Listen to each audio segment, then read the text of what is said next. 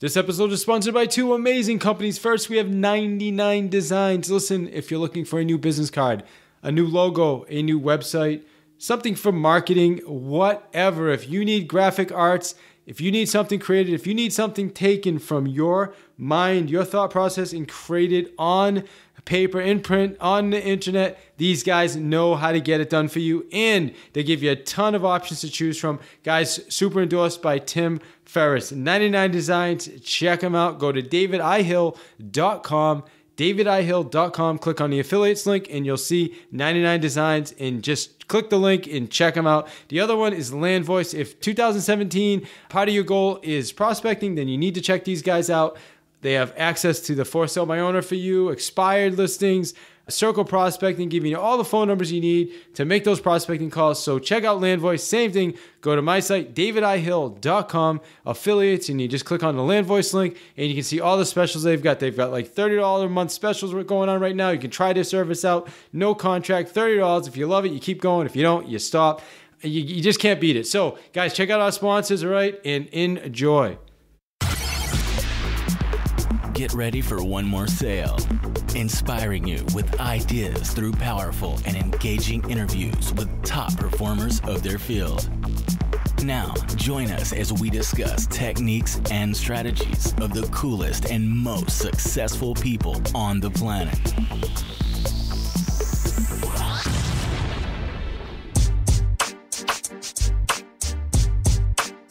Hey, Masters, welcome to another step on your path to sales mastery.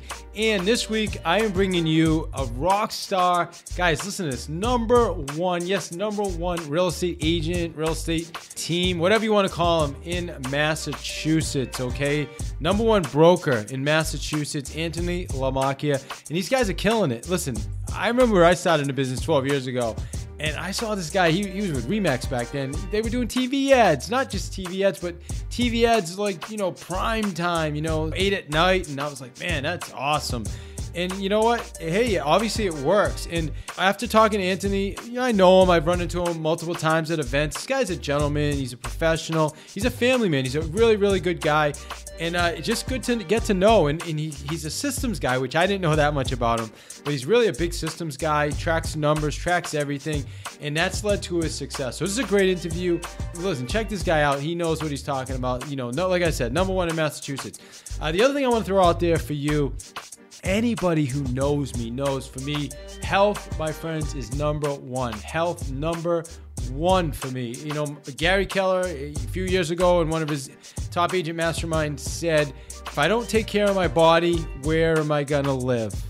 How profound is that, right? If I don't take care of my body, where am I going to live? So, I started using Advocare products about a year ago. Never really got into them. I just used the Spark and some of the energy drinks. And about a, uh, right before the new year, I did the challenge, and the challenge was just phenomenal. And you know, from doing the challenge, you know, I didn't really lose any weight. What I did was I actually got cut pretty good, shredded, and and gained a couple pounds of muscle. Uh, I mean, it's it's awesome. I feel great, energy. I'm taking wellness products for for sleeping.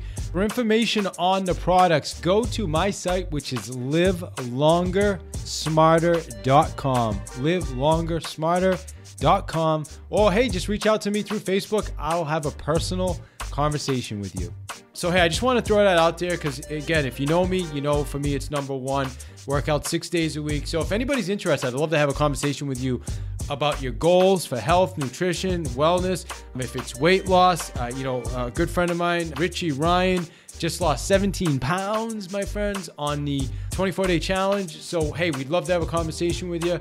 Anything I can do to help with your needs. Um, for now, let's focus on Anthony Lamacchia, number one Massachusetts guys. Take some of these nuggets, get your notepads out. One more step on your path to sales mastery.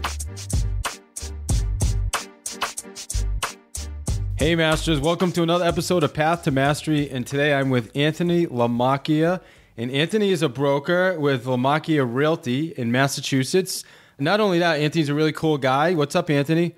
Hello, my friend. Thanks very much for having me on. I've heard good things about this podcast. Well, thank you. Yeah, I appreciate it. We're growing, and you know, it's always good to run into you. I know we just saw each other at the Boston event, and every time I've seen you, I uh, just nothing but good things. And uh, you know, you're always professional, carrying yourself awesome. So Uh, and congrats on your awesome success. Let me, uh, I'm going to go through your bio for our listeners just so they get to know a little bit about you. I know you guys started, you started a business in 2004. Is that correct? Yeah, I was in a family business, and I remember breaking the news to my dad that I was going to get out of it. I was in landscape construction, and that went over like a lead balloon.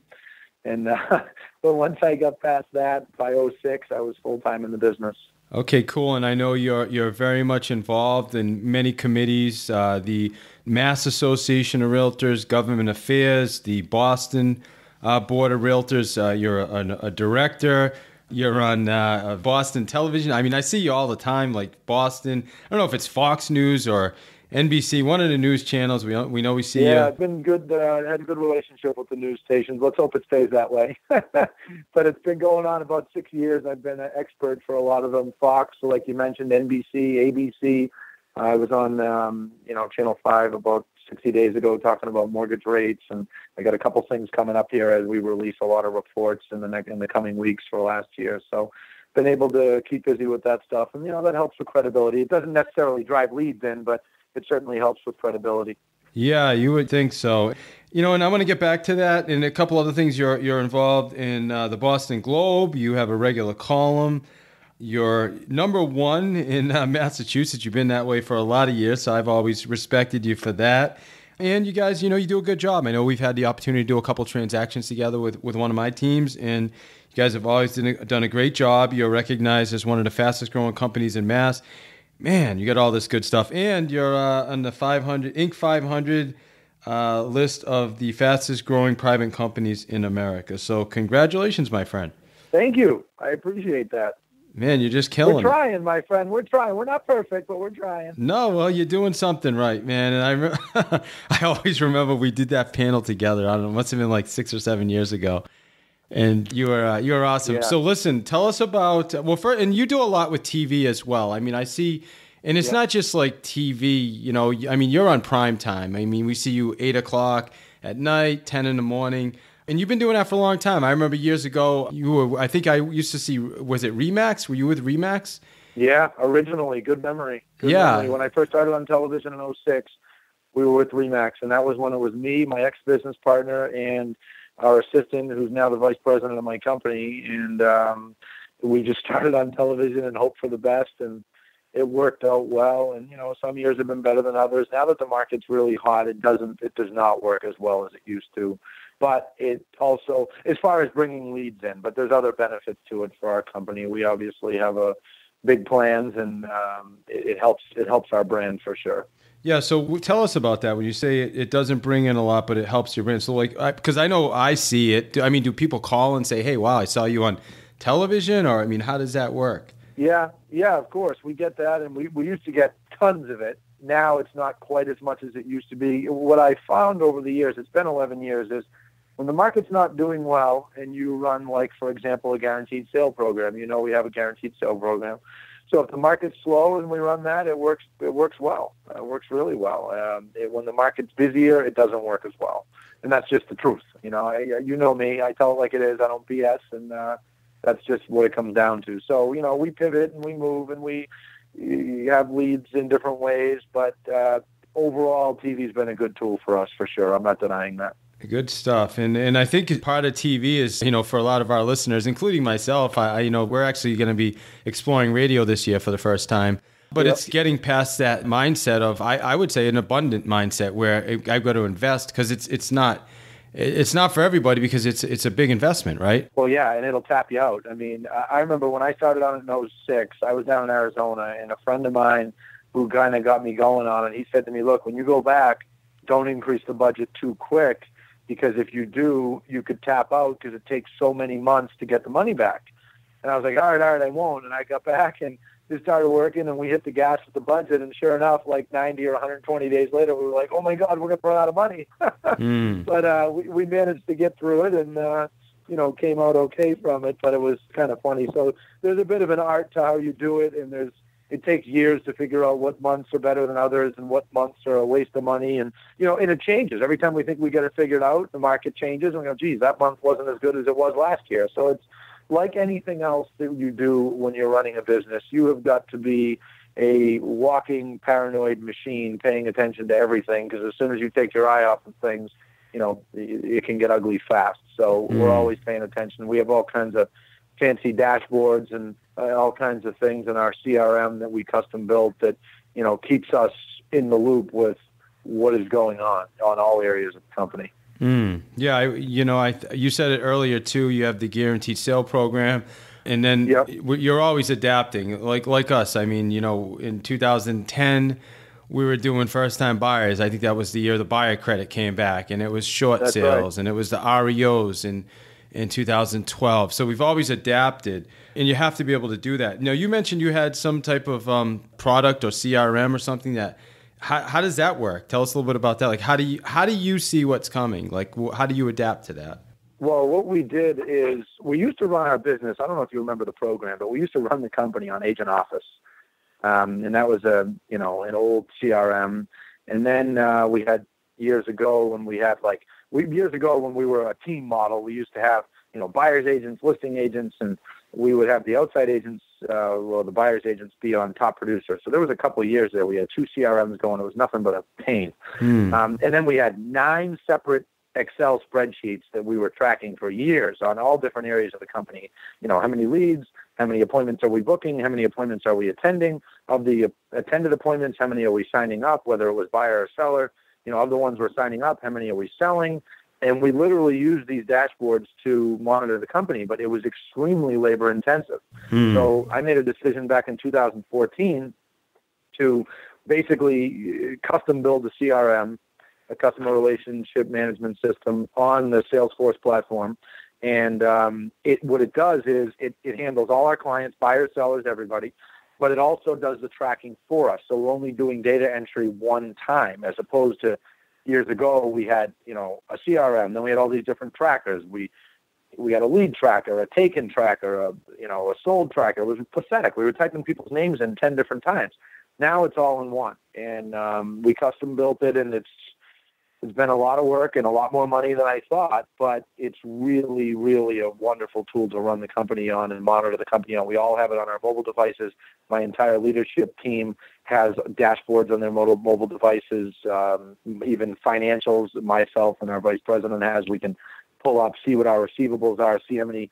You know, I can heck, I can tell you numbers right now if you want to know. You know how many how many seller leads have we had this week? So far this week we've had ten.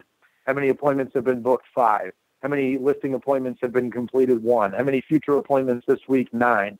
Uh, how many listings have been taken so far this week? Six. So Wow. we track metrics like that all the time, and that's you know that's just on the listing side, and then we you know for buyers we track identical types of things. You know what I mean? Just to know where we're at at all times. So it sounds like you know you're really a numbers guy. You're you're really into tracking. Have you always been like that, or when did that start? No, I've always been like that. We, we, I remember we started on television on Saturday. Uh, it was like the last Saturday of July in 2006, and we got a handful of leads. A lot of them were from far away. I remember the first lead we ever got was in Canada. And we're like, how do these people see us? But anyway, that's beside the point. That Sunday, I built a spreadsheet, and it was very basic. And then we just kept like building it, building it, building it from there. Um, but we track everything because if you don't, you don't know. I mean, if you're not tracking, how do you know where you're going? Yeah. And you got to do it consistently. So I mean, if you would say, you know, you're obviously successful, Anthony. You guys are been number one in mass for, uh, I don't know, what since 2010 with the real estate companies. Is that because you track numbers? What would you say makes you guys successful? Like, why are you more successful than all the other brokers? Well, I mean, there's some. There's we obviously have some good competitors out there, uh, yourself included. But w- I think that we we're obviously aggressive with our marketing. We're consistent. We have good systems, and we track. Oh, and we train. I probably should have said train first. We do a significant amount of training.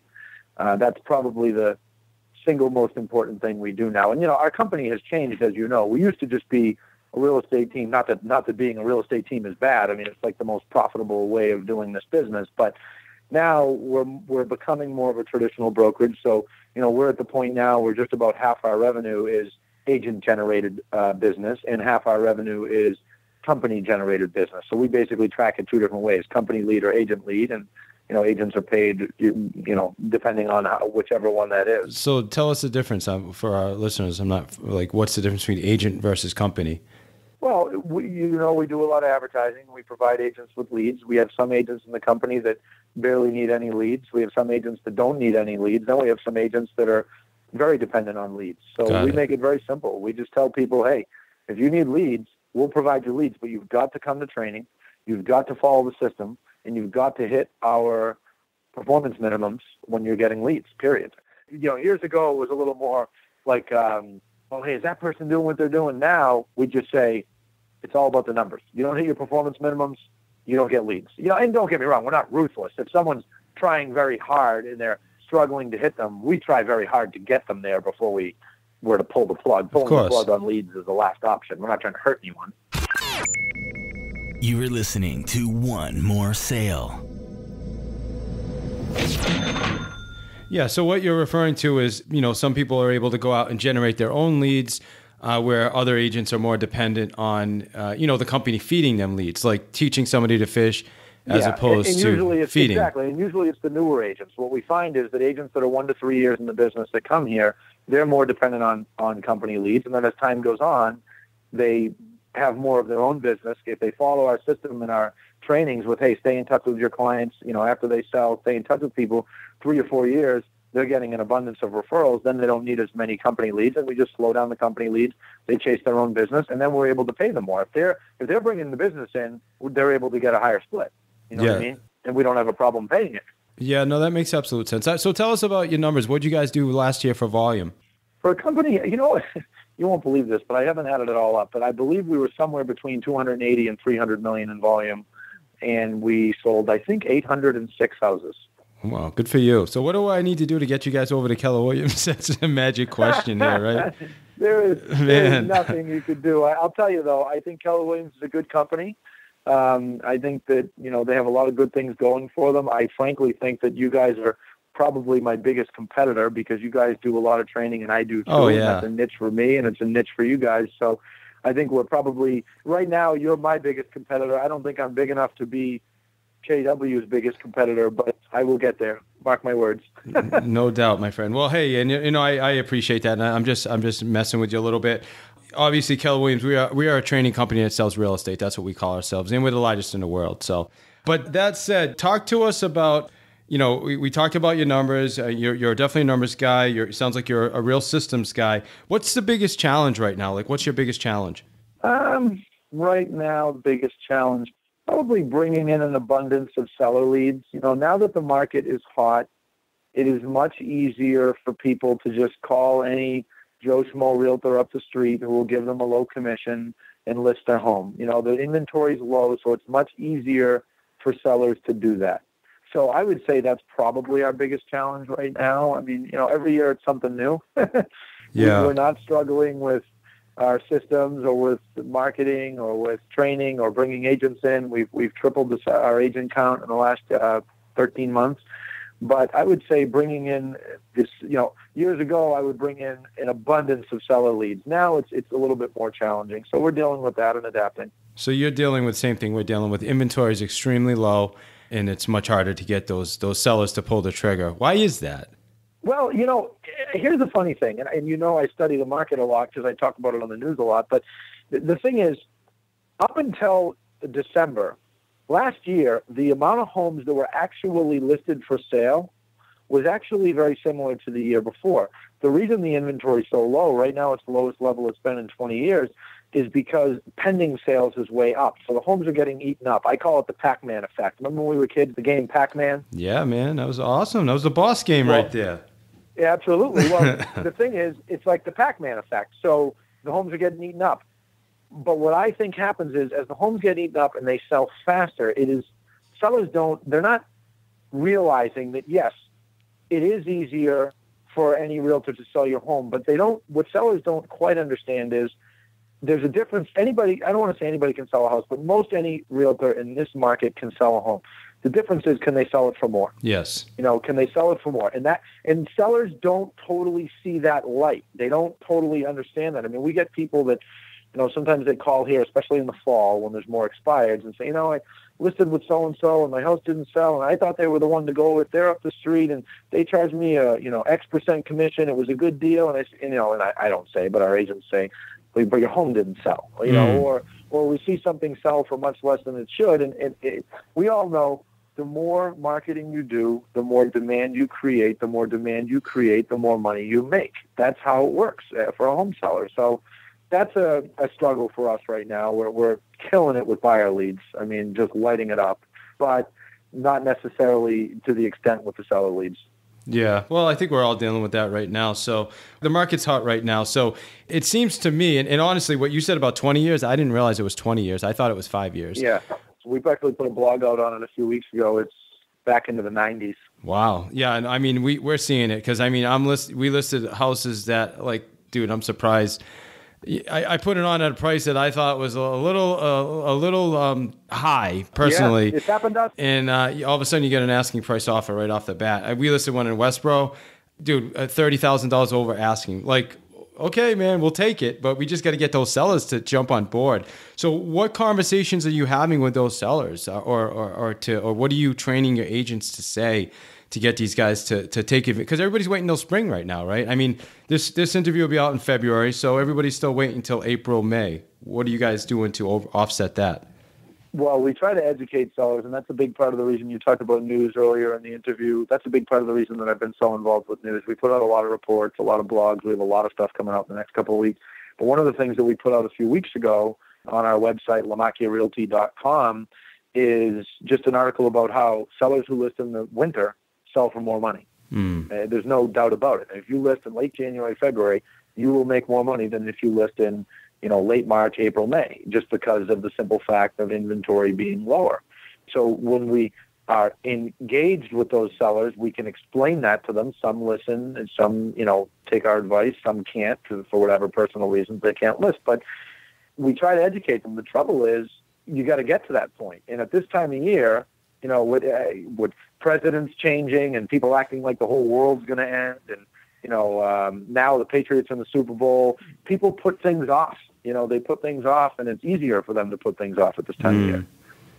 Yeah, it's kind of like in November when everybody says, "Call me after the holidays." You call them after the holidays. Well, it's winter. Call me in sixty days. You know, it's yeah it's that time of year. Yeah, no doubt, man, no doubt. And it's interesting too because I think a lot of sellers, Anthony, right now think what's happening is like you know they hear these stories about getting thirty thousand over asking, getting full price, and they think that that's the market actually appreciating when really it's just uh, uh, the impact of, of the inventory. At least that's my my opinion. I don't know what your thoughts are.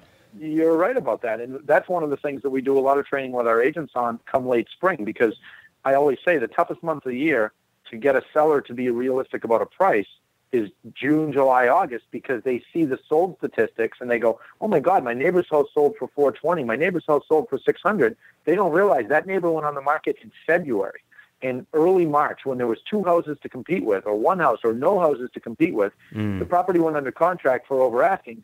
Then they try to list even higher because they say, "Wow, mine's worth more," and it doesn't sell. And they look at the realtor and say it's the realtor's fault. So as realtors, we have to educate these people on the differences in the market.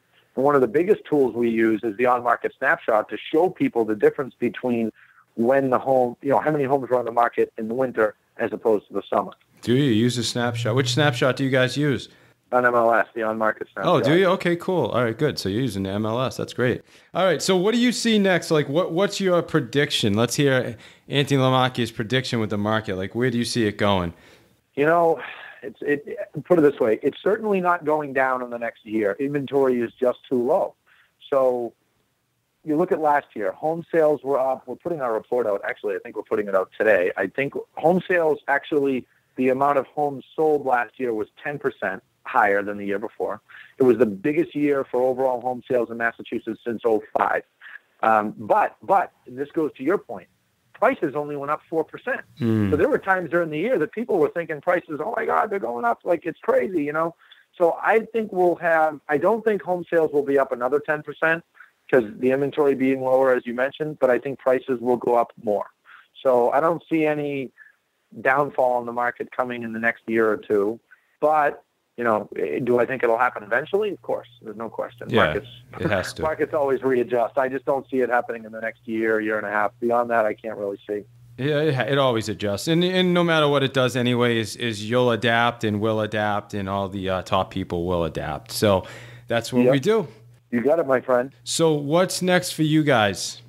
We're gonna just continue to do what we're doing. Uh, as I said, we've changed as a company. You know, now uh, this year is going to be our first year that probably slightly more than 50% of our revenue will be from agent sales, agent, you know, business. Um, and so we're, we're adapting to that and we're just growing the company. Uh, we opened three additional offices last year, so I'm, I'm basically going to take a breather on opening offices because all that does is make you write a lot of checks. We also built out a training room down the hall, but we're going to sit tight here for a couple of years, increase our agent count with, you know, quality agents in the various offices out closer to your market in Worcester and uh, Westford and Woburn, and um, you know continue to grow. That, that's what we're going to do, and, and, and try to con- try to continue to grow in a healthy manner. Awesome, man, my friend. Well, stay out of Worcester, by the way. No, I'm just kidding. I'm not even in Worcester anymore. We went, we went out to Westboro. We want to focus on a higher price point. Hey, that's a good move. Yeah, man, absolutely. So anyway, that said, anything else I should have asked you that I didn't ask you? Um, well, let me ask you this: the listeners to this are going to be what? Mostly team leaders. Uh, no, mostly real estate agents. I mean, we've got a lot of team leaders, real estate agents. We got in different sales industries. I mean, I've got auto guys listening to it, all kinds of uh, security. So yeah, we got a pretty good listenership, man. We've been growing. It's awesome. Okay, because one of the things I was going to add, you know, I obviously, like you, have a lot of friends around the country with large real estate teams and companies, and the biggest thing that I think people are missing the boat on is they're not providing enough training for their agents. Yeah. And training is something that we're obsessed with here. We do it every single week. Every Wednesday, we do buyer training, seller training, and it's sales related. And then we have more of the nuts and bolts trainings on Mondays and Tuesdays for our agents. And, you know, what we find is the more we train, the more sales we have. Absolutely. Uh, that's something that, you know, if someone said to me, what's the one thing you wish you did sooner? Uh, I would say consistent trainings on a weekly basis sooner. I didn't do that till 2012, and um, I should have. I should have done it on a weekly basis, you know, in 2007 when we started bringing people on then. Okay, you know what? The best time to plant a tree was 20 years ago. The second best time is today. So, good You stuff, my friend. And the final question for you is what is the one thing you want our listeners to take from this interview on their path to sales mastery? I'd say training. You know, I really would. I, practice makes perfect. Well, it doesn't make perfect, but it improves you. And uh, all of us, none of us are perfect. So, if you're a salesperson working on your own, you need to be practicing scripts. You need to be getting all the training you can. I mean, I'll tell you one thing I've done, and I don't love it because I have four children, uh, but I travel a, a good amount. I probably go to a real estate event every month or every other month year round. And, you know, like I said, I don't love doing it now because I, I don't, I'm not crazy about leaving my wife home with four children, but every time I go away, I pick up an idea. I pick up something new, something different. Uh, years ago, I would only travel to events that were related to growing your team or growing, you know, getting more leads. Now I go to realtor events. Now I go to events that there's other broker owners at with more traditional brokerages. So really, wherever you're trying to go with your business, that's where you need to go with your travel. And, and you know, there. One thing about this business, you can travel every week. There's good events. There's coaches out there every week. I mean, look at KW as a company. You guys have stuff all the time. So people that aren't, you know, getting on a plane and aren't willing to get outside of their little shell are, are missing out. Yeah, you just nailed it. That's the biggest thing. Sometimes you, we have to get on a plane because uh, you know sometimes you'll be the uh, you know the biggest fish in the in the small pond, and when you get on a plane, you're like, what? These guys are doing 300 million, 400 million. What? Yeah, it's like it really opens your eyes to what's possible. Hey, by the way, uh, great training coming up. I'd love to have you come as my guest, ESO Expansion Systems, uh, on March 7th. So I'm going to shoot you an invitation for that. And if you can come out to Westboro, we'd love to see you there. All right, send me the information. I'll see if I can do it. All right, man. Thank you for your time. Hey, really appreciate it, okay? Thank you for having me, David. I appreciate it. If you're anything like me and you love podcasts, I guarantee you're going to love audiobooks. And audible.com is the largest resource of audiobooks. I'm super excited about my partnership with audible.com where I can offer you a free audiobook. All you have to do is simply go to www.davidsfreebook.com and sign up and you get yourself a free book. Yes, absolutely free, never charged, no membership. If you love the service, then obviously continue using it, but this is completely free. Again, www.davidsfreebook.com. Get yourself a free audiobook and enjoy.